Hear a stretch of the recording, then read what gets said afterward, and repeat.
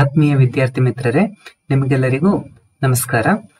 ಈಗ ನಾವು ಒಂದು ಪ್ರಾಬ್ಲಮ್, ಈಗ ಇಲ್ಲಿ ಒಂದು ಪ್ರಾಬ್ಲಮ್ ಸ್ಟೇಟ್ಮೆಂಟ್ ಅನ್ನು ನೀವು ಗಮನಿಸಬಹುದು ಈ ಪ್ರಾಬ್ಲಮ್ ಸ್ಟೇಟ್ಮೆಂಟ್ ಅನ್ನು ಸಾಲ್ವ್ ಮಾಡೋದು ಹೇಗೆ ಅಂತ ಪ್ರಯತ್ನ ಮಾಡುವ. ಇದಕ್ಕೆ ನಾವು ಅಲ್ಗೋರಿದಮ್ ಅನ್ನು ರಚಿಸುವುದು ಹೇಗೆ ಅಂತ ನಾವು ಈ ವಿಡಿಯೋದಲ್ಲಿ ನೋಡ್ಲಿಕ್ಕಿದ್ದೇವೆ. ಈಗ ಈಗ ನಮ್ಗೆ ಗಿವನ್ ಕ್ವಶನ್ ಏನು? Write a program to find the roots of a given quadratic equation ಈಗ ಕ್ವಾಡ್ರಾಟಿಕ್ ಇಕ್ವೇಶನ್ ಇದು ರೂಟ್ಸ್ ಅನ್ನು ಫೈಂಡ್ ಔಟ್ ಮಾಡಬೇಕು. ಯೂಸಿಂಗ್ ಇಫ್ ಎಲ್ಸ್ ಸ್ಟೇಟ್ಮೆಂಟ್ ಇದು ನಿಮಗೆ, ನೀವು ಇಫ್ ಎಲ್ ಸ್ಟೇಟ್ಮೆಂಟ್ ಅಲ್ಗೋರಿದಮ್ ಬರೆಯುವಾಗ ಹೇಗೆ ಅಂತ ನಿಮ್ಗೆ ಗೊತ್ತು. ಈಗ ಇಲ್ಲಿ ಒಂದು, ಇನ್ನೊಂದು ನೋಟ್ ಕೊಟ್ಟಿದ್ದಾರೆ. If the discriminant of the quadratic equation is greater than equal to zero then find the roots otherwise else write roots are complex ಈಗ ಕ್ವಾಡ್ರಾಟಿಕ್ ಇಕ್ವೇಶನ್ ಏನು ಅದರ ಡಿಸ್ಕ್ರಿಮಿನೆಂಟ್ ಏನು, ಮತ್ತೆ ರೂಟ್ಸ್ ಅನ್ನು ಫೈಂಡ್ ಔಟ್ ಮಾಡೋದು ಹೇಗೆ? ಅಂತ ನಮ್ಗೆ ಈಗ ಬೇಕು. ಸೊ ಇದಕ್ಕೆ ನಾವು ಮ್ಯಾಥ್ ಫನ್ ವೆಬ್ಸೈಟಿಗೆ ಹೋಗುವ. ಮ್ಯಾಥ್ ಇಸ್ ಫನ್ ಇಲ್ಲಿ ಈಗ ಕ್ವಾಡ್ರಾಟಿಕ್ ಇಕ್ವೇಶನ್ ಏನು ಎಕ್ಸ್ಪ್ಲೈನ್ ಮಾಡಿದ್ದಾರೆ. ಈಗ ಇಲ್ಲಿ example five x square plus three x plus three ಇಲ್ಲಿ ಎಕ್ಸ್ ಪವರ್ ಟೂ ಅಂತ ಹೇಳುದು ಇದನ್ನು ಕ್ವಾಡ್ರಾಟಿಕ್ ಇಕ್ವೇಶನ್ ಮಾಡುತ್ತದೆ. ಯಾಕೆ? ಎಕ್ಸ್ ಪವರ್ ಟೂ ಅನ್ನು ನೀವು ಎಕ್ಸ್ ಸ್ಕ್ವೇರ್ ಅಂತ ಕೂಡ ಕರಿಬಹುದು ಸ್ಕ್ವೇರ್ ಅಂತ ಹೇಳಿದ್ರೆ ಎಷ್ಟು ಸೈಡ್ಸ್ ಇರ್ತದೆ? ಫೋರ್ ಸೈಡ್ಸ್ ಇರ್ತದೆ. ಅಲ್ವಾ? ಅದಕ್ಕೆ ಕ್ವಾಡ್ ಕ್ವಾಡ್ ಕ್ವಾಡ್ರಾಟಿಕ್ ಹೀಗೆ ಇದನ್ನು ಹೆಸರು ಬಂತು ಅಂತ ಅನ್ಕೊಳ್ಳುವ ಈಗ ಈ ಕ್ವಾಡ್ರಾಟಿಕ್ ಇಕ್ವೇಶನ್ ಇದು ಸ್ಟ್ಯಾಂಡರ್ಡ್ ಅಥವಾ ಜನರಲ್ ಫಾರ್ಮ್ ಹೇಗಿರ್ತದೆ? A x square plus b x plus c ಈಗ ಇದರಲ್ಲಿ ಎಕ್ಸ್ ಸ್ಕ್ವೇರ್ ಅಂತ ಹೇಳಿ ಎಕ್ಸ್ ಅಥವಾ ಎಕ್ಸ್ ಸ್ಕ್ವೇರ್ ಅನ್ನೋನ್ ಆಗಿರ್ತದೆ. A b c are known values ಈಗ ಈ ಎಕ್ಸ್ ಅಂತ ಹೇಳುದೇ ರೂಟ್ ನಮ್ಗೆ ಇಕ್ವೇಶನ್ ಇದು. ಇದು ಗೊತ್ತಾದ್ರೆ ನಾವು ಇಕ್ವೇಶನ್ ಅನ್ನು ಸಾಲ್ವ್ ಮಾಡಬಹುದು ಈಗ ಅದನ್ನು ಹೇಗೆ ಸಾಲ್ವ್ ಮಾಡುದು? ಅದರಲ್ಲಿ ಬೇರೆ ಬೇರೆ ವೇಸ್ ಇದೆ. ಅದರಲ್ಲಿ ಒಂದು ವೇ ಕ್ವಾಡ್ರಾಟಿಕ್ ಫಾರ್ಮುಲಾ ಯೂಸ್ ಮಾಡುದು. ಈ ಕ್ವಾಡ್ರಾಟಿಕ್ ಫಾರ್ಮುಲಾ ನಾವು ಯೂಸ್ ಮಾಡಿದ್ರೆ ಇದರಲ್ಲಿ ಈಗ ಎ ಬಿ ಸಿ ಇದೆಲ್ಲ ಇದು ನೋನ್ ವ್ಯಾಲ್ಯೂಸ್ ನಮಗೆ. ಈಗ ಕ್ವಾಡ್ರಾಟಿಕ್ ಇಕ್ವೇಶನಿನ ಕೋಎಫಿಷಿಯಂಟ್ಸ್ ಅಂತ ಕೂಡ ಕರೀತಾರೆ ಅದನ್ನು. ಸೊ ಈಗ ಈ ಎ ಬಿ ಸಿ ಅನ್ನು ಯೂಸ್ ಮಾಡಿ ನಾವು ಈ ಫಾರ್ಮುಲಾ ಅಪ್ಲೈ ಮಾಡಿದ್ರೆ ನಮಗೆ ರೂಟ್ ಸಿಗ್ತದೆ ಎಕ್ಸ್ ಸಿಗ್ತದೆ. ಈಗ ಇದನ್ನು ಹೇಗೆ ಇಲ್ಲಿ ಈಗ ಇಲ್ಲಿ ಪ್ಲಸ್ ಆರ್ ಮೈನಸ್ ಬಂದಿರೋದ್ರಿಂದ ಇದಕ್ಕೆ ಮಲ್ಟಿಪಲ್ ವ್ಯಾಲ್ಯೂಸ್ ಬರುವ ಸಾಧ್ಯತೆ ಇರ್ತದೆ ಎಕ್ಸಿಗೆ ಅಲ್ವಾ? ಪ್ಲಸ್ ಹೇಗೆ ಪ್ಲಸ್ ಅಂತ ನಾವು ತಕೊಂಡಾಗ ಒಂದು ವ್ಯಾಲ್ಯೂ ಮೈನಸ್ ಅಂತ ಇದನ್ನು ಅಪ್ಲೈ ಮಾಡಿದಾಗ ಇನ್ನೊಂದು ವ್ಯಾಲ್ಯೂ ಬರ್ಬೋದು ಮತ್ತೆ ಇನ್ನೊಂದು ಗಮನಿಸಬಹುದಾದದ್ದು ಎಂತ ಅಂದ್ರೆ ಇಲ್ಲಿ ಒಂದು ಈ ಸ್ಕ್ವೇರ್ ರೂಟ್ ಇರೋದ್ರಿಂದ ಇದು ಈಗ ಇದು ರಿಯಲ್ ಸೊಲ್ಯೂಷನ್ ಇದೆಯಾ ಅಥವಾ ಇಮ್ಯಾಜಿನರಿ ಸೊಲ್ಯೂಷನ್ ಅಂತ ಹೇಳೋದನ್ನು ಡಿಸ್ಕ್ರಿಮಿನೇಟ್ ಮಾಡ್ತದೆ. ಹೇಗೆ? ಈಗ b square minus four a c ಈಗ ಪಾಸಿಟಿವ್ ವ್ಯಾಲ್ಯೂ ಆಗಿದೆ ಅಥವಾ ಝೀರೋ ಆಗಿದೆ ಅಂತ ಆದ್ರೆ ರಿಯಲ್ ನಂಬರ್ ಆಗಿರ್ತದೆ. ಅದೇ ಒಂದು ವೇಳೆ ಇದು ನೆಗೆಟಿವ್ ನಂಬರ್ ಆಗಿ ಹೋಗಿದ್ರೆ ಅವಾಗ ಇದು ಇಮ್ಯಾಜಿನರಿ ಆಗ್ಬೋದು ಕಾಂಪ್ಲೆಕ್ಸ್ ನಂಬರ್ ಇಮ್ಯಾಜಿನರಿ ಪಾರ್ಟ್ ಬರ್ತದೆ ಇದು. ಇದು ಇಮ್ಯಾಜಿನರಿ ಪಾರ್ಟ್ ಅಂತ ಅನಿಸ್ಕೊಳ್ಬಹುದು ಹಾಗಾಗಿ ಅದೊಂದು ಕಾಂಪ್ಲೆಕ್ಸ್ ನಂಬರ್ ಆಗಿಬಿಡ್ತದೆ, ಅಲ್ವಾ? ಅದಕ್ಕೆ ಈ ಪಾರ್ಟ್ ಅನ್ನು ಸ್ಕ್ವೇರ್ ರೂಟ್ ಒಳಗಡೆ ಇದೆಲ್ಲ ಆ ಪಾರ್ಟ್ ಅನ್ನು ಡಿಸ್ಕ್ರಿಮಿನೆಂಟ್ ಅಂತ ಕರೀತಾರೆ. ಈಗ ಡಿಸ್ಕ್ರಿಮಿನೆಂಟ್ ಅಂದ್ರೆ ಯಾವುದು? B square minus four a c so ಈಗ ಇದು ಪಾಸಿಟಿವ್ ಆಗಿದ್ರೆ ಅಥವಾ ಝೀರೋ ಆಗಿದ್ರೆ ರಿಯಲ್ ಸೊಲ್ಯೂಷನ್ ಇಲ್ಲದಿದ್ರೆ ಕಾಂಪ್ಲೆಕ್ಸ್ ಸೊಲ್ಯೂಷನ್ ಈಗ ಇದನ್ನು ಅಪ್ಲೈ ಮಾಡಿ ನಾವು ಹೇಗೆ ಅಲ್ಗೋರಿದಮ್ ರಚಿಸಬಹುದು ಇದಕ್ಕೆ ಇದನ್ನು ನಾವು ಪ್ರಯತ್ನ ಮಾಡುವ ಅಲ್ಗೋರಿದಮ್ ಮಾಡಲಿಕ್ಕೆ. ಮೊದಲನೇದಾಗಿ algorithm ಯಾಕಿರೋದು? Algorithm to find roots of a quadratic equation ಹಾಗಾದ್ರೆ ಇದಕ್ಕೆ ಇನ್ಪುಟ್ ಏನು? ಇನ್ಪುಟ್ ಈಗ ಇದರಲ್ಲಿ ಕ್ವಾಡ್ರಾಟಿಕ್ ಇಕ್ವೇಶನ್ ಅನ್ನು ಹೇಗೆ ಕೊಡುವಂತದ್ದು ಕ್ವಾಡ್ರಾಟಿಕ್ ಇಕ್ವೇಶನ್ ಇದು ಕೋಎಫಿಷಿಯಂಟ್ಸ್ ಯಾವುದೆಲ್ಲ? ಎ ಬಿ ಸಿ ಅಲ್ವಾ? ಹಾಗಿದ್ರೆ ಔಟ್ಪುಟ್ ಏನು? ಈಗ ಔಟ್ಪುಟ್ ಬೇಕಾಗಿರೋದು ನಮಗೆ ಒಂದ ರೂಟ್ಸ್ ಇಲ್ಲದಿದ್ರೆ ಅದು ರೂಟ್ಸ್ ಒಂದು ಕಾಂಪ್ಲೆಕ್ಸ್ ನಂಬರ್ ಆಗಿದ್ರೆ ರೂಟ್ಸ್ ಆರ್ ಕಾಂಪ್ಲೆಕ್ಸ್ ಅಂತ ಒಂದು ಸ್ಟೇಟ್ಮೆಂಟ್ ಅದರಿಂದ ಔಟ್ಪುಟ್ ಏನಾಗ್ತದೆ?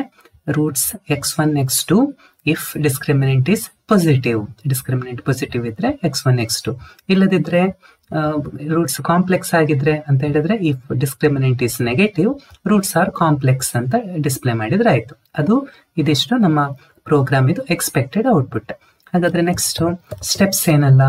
Step number one step number one ಏನು? ಫಸ್ಟ್ ನಮ್ಗೆ ಬೇಕಾದ ಇನ್ಪುಟ್ ಅಂತ ಕೊಡಬೇಕು. ಏನಲ್ಲ input read a b and c ಈಗ ನೆಕ್ಸ್ಟ್ ಸ್ಟೆಪ್ ಏನು? ಸ್ಟೆಪ್ ನಂಬರ್ ಇಲ್ಲಿ ನಾವು ಈಗ ನಮಗೆ ಮೇನ್ ಈಗ ರೂಟ್ಸ್ ಅನ್ನು ಫೈಂಡ್ ಔಟ್ ಮಾಡೋದಕ್ಕಿಂತ ಮೊದಲು ಇಂಪಾರ್ಟೆಂಟ್ ಕೆಲಸ ಏನು? ಡಿಸ್ಕ್ರಿಮಿನೆಂಟ್ ಏನು ಅಂತ ಚೆಕ್ ಮಾಡುವಂಥದ್ದು. ಈಗ ಡಿಸ್ಕ್ರಿಮಿನೆಂಟ್ ಏನು ಅಂತ ಹೇಗೆ ಚೆಕ್ ಮಾಡೋದು? ಡಿ ಇಸ್ ಈಕ್ವಲ್ ಟು ಈಗ ಇಲ್ಲಿ ನಾವು ಫಾರ್ಮುಲಾ ನಾವು ನೋಡಿದ್ರೆ D is equal to B square minus four A C ಈಗ ಬಿ ಸ್ಕ್ವೇರ್ ಅನ್ನು ಹೇಗೆ ಬರೆಯೋದು? B into B minus four A C four into A into C ನಾವು ಕನ್ಫ್ಯೂಸ್ ಆಗೋದಕ್ಕೆ ಬೇಕಾದ್ರೆ ಬ್ರಾಕೆಟ್ಸ್ ಅನ್ನೆಲ್ಲ ಹಾಕೊಳ್ಬಹುದು ಹಾಗೇನಾಗ್ತದೆ ಹೀಗೆ ಆಗ್ತದೆ. D is equal to B into B minus four A C ಈಗ ಫೋರ್ ಎ ಸಿ ಅನ್ನು ಬೇಕಾದ್ರೂ ನಾವು ಹೀಗೆ ಬ್ರಾಕೆಟ್ ಅಲ್ಲಿ ಹಾಕೊಳ್ಬಹುದು ಕನ್ಫ್ಯೂಸ್ ಆಗೋದಕ್ಕೆ. ಹೀಗೆ. ಈಗ ಡಿ ಬಂತು. ಈಗ ಇನ್ನು ನೆಕ್ಸ್ಟ್ ಎಂತ ಕೆಲಸ? ಈಗ ಡಿ ದು ವ್ಯಾಲ್ಯೂ ಏನಾಗಿದೆ ಅಂತ ನಾವು ಚೆಕ್ ಮಾಡಬೇಕು. ಅಲ್ವಾ? ಹೇಗೆ ಚೆಕ್ ಮಾಡೋದು? ಇದಕ್ಕೆ ಇಫ್ ಅನ್ನು ಯೂಸ್ ಮಾಡಬಹುದು if D is less than zero ಅಂದ್ರೆ ಡಿ ನೆಗೆಟಿವ್ ಆಗಿದ್ರೆ if D is less than zero ಅದನ್ನು ಹೀಗೆ ಬರೀಬಹುದು ನಾವು. D less than zero then go to step ಈಗ ನೆಕ್ಸ್ಟ್ ಸ್ವಲ್ಪ ಎದುರುಗಡೆ ಹೋಗ್ಬೇಕು. ಅದು ಏನು ಅಂತ ಮತ್ತೆ ಮುಂದಕ್ಕೆ ನೋಡುವ. ಈಗ ಇಲ್ಲಿ ಎಂತ ಮಾಡಬೇಕು? ಡಿ ಲೆಸ್ ದನ್ ಜೀರೋ ಆಗಿದ್ರೆ ನಾವು ಅದನ್ನು D D less than zero ಆಗಿದ್ರೆ roots are complex roots are complex ಅಂತ ಮೆಸೇಜ್ ಡಿಸ್ಪ್ಲೇ ಮಾಡಬೇಕು. ಸೊ ಇದು ಆ ಸ್ಟೆಪ್ ಅಲ್ಲಿ ನಾವು ರೂಟ್ಸ್ ಆರ್ ಕಾಂಪ್ಲೆಕ್ಸ್ ಅಂತ ಡಿಸ್ಪ್ಲೇ ಮಾಡುವ. ಮತ್ತೆಂತ ಮಾಡಬೇಕು? ನೆಕ್ಸ್ಟ್ ಸ್ಟೆಪ್ ಸ್ಟಾಪ್ ಅಲ್ಲಿಗೆ ಮುಗಿಯಿತು ಈಗ ಈಗ ಡಿ ಲೆಸ್ ದನ್ ಜೀರೋ ಅಲ್ಲದಿದ್ರೆ ನಾವು ಈಗ ನೆಕ್ಸ್ಟ್ ಇಲ್ಲಿ ಜಂಪ್ ಮಾಡುವ ಅಗತ್ಯ ಇಲ್ಲ. ಇವಾಗ ಏನು? ಈಗ ಫೋರ್ತ್ ಸ್ಟೆಪ್ ಏನು? ಈಗ ನಾವು ಡಿ ಎನ್ ಕಂಪ್ಯೂಟ್ ಮಾಡಿ ಆಗಿದೆ. ಡಿಸ್ಕ್ರಿಮಿನೆಂಟ್ ಬಂದಿದೆ. ಈಗ ಇನ್ನು ನಾವು ಇದನ್ನು ಯೂಸ್ ಮಾಡಿ ನಾವು ರೂಟ್ ಅನ್ನು ಯೂಸ್ ಮಾಡಬೇಕು. ರೂಟ್ ಅನ್ನು ಫೈಂಡ್ ಔಟ್ ಮಾಡಬೇಕು. ರೂಟ್ ಒಂದಿರ್ಬೋದು ಎರಡು ಇರ್ಬೋದು, ಅಲ್ವಾ? ನಾವು ಎರಡು ರೂಟ್ ಅಂತ ಅಸ್ಯೂಮ್ ಮಾಡಿ ಮಾಡುವ. ಹೇಗೆ ಮಾಡುದು? ನಾವು ಎಗೇನ್ ಇಲ್ಲಿ ಫಾರ್ಮುಲಾ ನೋಡೋದಾದ್ರೆ, ಈಗ ನಮ್ಗೆ B square minus four A C ಉಂಟು. ಈಗ ನೆಕ್ಸ್ಟ್ ಈಗ ಮೈನಸ್ ಬಿ ಪ್ಲಸ್ ಪ್ಲಸ್ ಅಂತ ತಕೊಂಡ್ರೆ ಒಂದು ಸೊಲ್ಯೂಷನ್ ಬರ್ತದೆ ಅಲ್ವಾ? Minus B plus square root of ಇದು, ಅಲ್ವಾ? ಸ್ಕ್ವೇರ್ ರೂಟ್ ಅಂತ ನಾವು ಒಂದು ಫಂಕ್ಷನ್ ಯೂಸ್ ಮಾಡ್ಬೋದು. ಮತ್ತೆ whole divided by two A so ಈಗ ಇದೇನು ಫಸ್ಟ್ ರೂಟ್ ಈಗ ನೆಕ್ಸ್ಟ್ ಫೋರ್ತ್ ಸ್ಟೆಪ್ ಈಗ ಫಸ್ಟ್ ರೂಟಿಗೆ ಎಕ್ಸ್ ಒನ್ ಅಂತ ಹೆಸರು ಕೊಟ್ಟು X one is equal to minus B plus square root of D D ಇಲ್ಲಿ ಬಂದಿದೆಲ್ಲ ಡಿ ಇದು ಹೋಲ್ ಡಿವೈಡೆಡ್ ಬೈ ಇಲ್ಲಿಂದ ಇಲ್ಲಿಯವರೆಗೆ. ಹೋಲ್ ಡಿವೈಡೆಡ್ ಬೈ ಏನು? ಟೂ ಇಂಟು ಎ ಸೊ ಇದನ್ನು ಡಿವೈಡ್ ಮಾಡಿದ್ರೆ ನಮಗೆ ಒಂದು ರೂಟ್ ಸಿಗ್ತದೆ. ನೆಕ್ಸ್ಟ್ ರೂಟ್ ಅದನ್ನು ಫೈಂಡ್ ಔಟ್ ಮಾಡೋದು. ನೆಕ್ಸ್ಟ್ ಸ್ಟೆಪ್ ಅಂತ ಇಟ್ಕೊಳ್ಳುವ. ಈಗ X two is equal to ಏನ್ ಚೇಂಜ್ ಮಾಡಬೇಕು? ಇದೇ ಸ್ಟೆಪ್ ಆದ್ರೆ ಇಲ್ಲಿ ಮೈನ್, ಇಲ್ಲಿ ಪ್ಲಸ್ ಇರುವಲ್ಲಿ ಇಲ್ಲಿ ಈಕ್ವೇಶನ್ ಅಲ್ಲಿ ಏನ್ ಕೊಟ್ಟಿದ್ದಾರೆ? ಮೈನಸ್ ಅಂತ ಕೊಟ್ಟಿದ್ದಾರೆ. ಸೊ ಈಗ ಇದು ಪ್ಲಸ್ ಒಂದಾಯ್ತು, ಇನ್ನೊಂದು ಸೊಲ್ಯೂಷನ್ಗೆ ಮೈನಸ್ ಮಾಡಿದ್ರೆ ಆಯ್ತು. ಸೊ ಈಗ ಇಲ್ಲಿ ಸೊಲ್ಯೂಷನ್ ಬರೆಯುವ. ಸ್ಟೆಪ್ ನಂಬರ್ ಫೈವ್ ಇಲ್ಲಿ ಪ್ಲಸ್ ಇರುವ ಜಾಗದಲ್ಲಿ ಮೈನಸ್ ಮಾಡಿದ್ರೆ ಆಯ್ತು. ಸೊ ಉಳಿದದ್ದು ಅದೇ ರೀತಿಯಲ್ಲಿ. ಈಗ ಎರಡು ರೂಟ್ಗಳಾಯ್ತು ಎಕ್ಸ್ ಒನ್ ಬಂತು ಎಕ್ಸ್ ಟು ಆಯಿತು. ನೆಕ್ಸ್ಟ್ ಎಂತ ಮಾಡೋದು ನಾವು? ಕಂಪ್ಯೂಟ್ ಮಾಡಿರುವ ಎಕ್ಸ್ ಒನ್ ಮತ್ತೆ ಎಕ್ಸ್ ಟು ಒನ್ ಡಿಸ್ಪ್ಲೇ ಮಾಡುವ. ಡಿಸ್ಪ್ಲೇ ಮಾಡಿದ ನಂತರ ಏನಾದ್ರೂ ಕೆಲಸ ಉಂಟಾ? ರೂಟ್ಸ್ ಅನ್ನು ಫೈಂಡ್ ಮಾಡಿ ಡಿಸ್ಪ್ಲೇ ಮಾಡಿ ಆಯಿತು. ಅಲ್ಲಿಗೆ ಸ್ಟಾಪ್ ಆದ್ರೆ ಆಯ್ತು. ಈಗ next six step display value of X one and X two then seventh step stop ಇದು ಮುಗೀತು. ಈಗ ಹಾಗಾದ್ರೆ ಇದು ಈ ಪಾರ್ಟ್ ಮುಗೀತು. ಯಾವುದು? ಡಿ ಲೆಸ್ ದ್ಯಾನ್ ಜೀರೋ ಅಲ್ಲದಿದ್ರೆ ಇರುವ ಪಾರ್ಟ್ ಇಲ್ಲಿ ಮುಗೀತು. ಹಾಗಾದ್ರೆ ಡಿ ಲೆಸ್ ದ್ಯಾನ್ ಝೀರೋ ಆಗಿದ್ರೆ ಅಂತ ಮಾಡೋದು? ಗೋ ಟು ಸ್ಟೆಪ್ ಅಂತ ಕೊಟ್ಟಿದ್ದೇವಲ್ಲ? ಇಲ್ಲಿ ಏನಾಗ್ಬೇಕಾಗಾದ್ರೆ ಸೆವೆಂತ್ ಆದ್ಮೇಲೆ ಏಯ್ತ್ ಸ್ಟೆಪ್ ಬರ್ತಾ ಇತ್ತು ಅದು ಸ್ಟೆಪ್ ಏಯ್ಟಿಗೆ ಹೋಗ್ಬೇಕಿತ್ತು. ಇಲ್ಲಿ ಸ್ಟೆಪ್ ಏಟ್ ಏನಾಗ್ತದೆ? Display roots are complex step nine stop ಹೀಗೆ.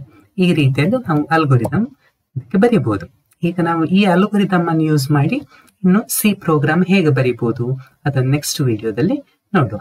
Thank you